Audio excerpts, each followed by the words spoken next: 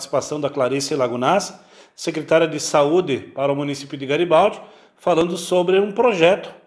A cidade limpa é cidade sustentável.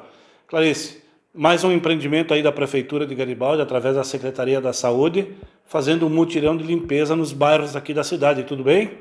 Tudo bem, Claudir, perfeitamente, né?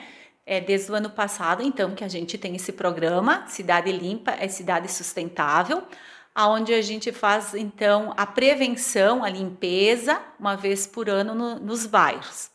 E nesse final de semana, então, no próximo final de semana, dia 3, quem vai ser contemplado vai ser o Bela Vista 1 e o Bela Vista 2, onde a gente vai ter duas equipes para fazer esse trabalho todo, envolvendo a comunidade. A gente já vem nessa né, semana toda envolvendo a comunidade, os líderes, para também fazer parte desse programa, um programa que a gente tem iniciado ano passado e que foi um sucesso ano passado e a gente quer então esse ano repetir uh, o mesmo sucesso e ajuda da comunidade. Como é que funciona na prática, Clarice, esse trabalho que vocês vão realizar junto às comunidades? Nós vamos formar duas equipes para o mesmo momento, no mesmo horário.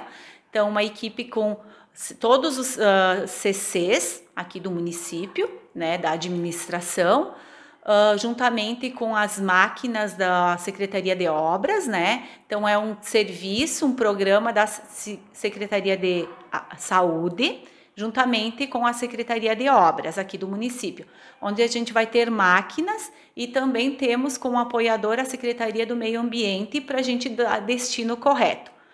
Estamos já fazendo todo esse apelo para a comunidade, ali para os bairros, uh, onde as equipes vão passar rua por rua, vão recolher o que tiver na calçada, na rua e dentro da casa, né, no lugar uh, do, da moradia, a gente pede então tirar tudo que não faz uso, todo aquele objeto que acaba ficando uh, ali no cantinho da horta, no cantinho do jardim, que retire então, porque nós estamos agora, daqui a pouco a gente sai o inverno, passa o período do inverno, né, Claudir? E nós vamos então passar já para uma estação, daqui a pouco vem o verão, e as águas, então, nesses potes, as águas podem ficar paradas, e a gente está fazendo então a prevenção da dengue, né? Do mosquito Aedes também, que é bem importante, a gente fazer já esse, essa prevenção. Até porque nós temos já né, um estudo que para o ano que vem a gente vai ter um índice maior da dengue. A gente viu por esse ano. Lá o ano passado, Claudir, a gente teve 11 casos, mortes inclusive, né? 11 mortes da dengue, né? E esse ano, agora até julho, nós já tínhamos 66 pessoas que foram a óbito devido à dengue. Então a gente está muito preocupado, juntamente com o Estado, né, que vem nos orientando e vem nos auxiliando também para fazer essa parte que nesse momento é o município que tem que fazer, não é o Estado. Então nós também precisamos muito da colaboração da comunidade, né? Das famílias garibaldense, porque a gente precisa fazer essa prevenção, muito importante. O que tiver lá, nós vamos ter uma máquina, nós vamos ter uma caçamba, tiver uma geladeira, tiver um móvel que não faz mais uso, que acaba ficando fora ali na calçada, tire nessa, nessa manhã de sábado, que a gente vai recolher e vai levar no local adequado lugar certo.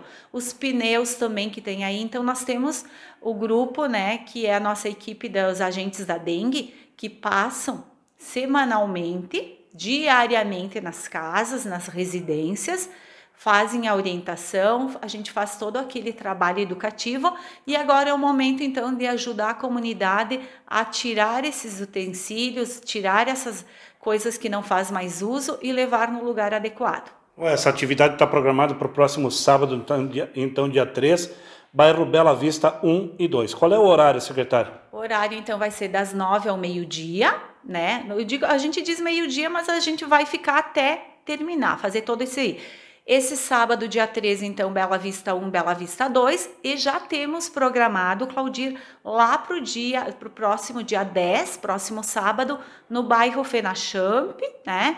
E lá no final do mês, dia 24, também é uma ação muito mais ampla, que também a gente está se programando para fazer uma limpeza em todo o Parque Fenachamp BR ali também.